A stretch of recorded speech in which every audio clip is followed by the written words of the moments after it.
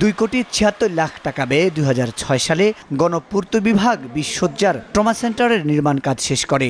সব সুযোগ সুবিধা দিয়ে আউটডোর ও ইনডোর চালুর ঘোষণা দিলেও শুরু থেকেই বিদ্যুতের সরবরাহ নেই হাসপাতালটিতে। লোকবল না থাকায় চুরি হচ্ছে মূল্যবান জিনিসপত্র, আর বিদ্যুতের পাশাপাশি অ্যাম্বুলেন্স, পানি ও খাদ্যের নেই কোনো ব্যবস্থা।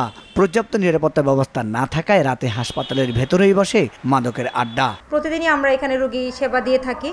যদিও আমার এখানে আপাতত ইলেকট্রিসিটির কোনো লাইন নেই এবং পানি নেই বাথরুমে কোনো পানির কানেকশন কিছুই নেই, যেহেতু ইলেকট্রিসিটি নেই। রুগী দেখা, দশজন ফিমেল স্টাফ সহ আমাদের আসলে খুব টাফ হয়ে যাচ্ছে এটা। স্থানীয়রা জানান দুর্ঘটনা কবলিত রোগীরা চিকিৎসা না পেয়ে জেলা জেনারেল হাসপাতালে যাচ্ছেন। যথাযথ সেবা না পেয়ে সেখান থেকে চলে যেতে হচ্ছে ঢাকা অথবা চট্টগ্রামে।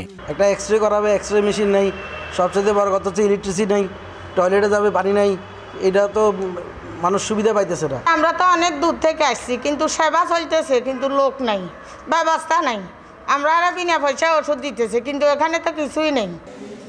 এদিকে জেলা স্বাস্থ্য কর্মকর্তা জানান, দীর্ঘদিন লোকবল না থাকায় আইসিইউ, সিসিইউ সহ X ray ECG, generator, ultrasonography ও অপারেশন থিয়েটারের সব যন্ত্রপাতি নষ্ট হওয়ার পথে। এছাড়া দুজন মেডিকেল অফিসার, একজন ফার্মাসিস্ট ও আটজন সেবিকা দিয়েই চালাতে হচ্ছে হাসপাতাল।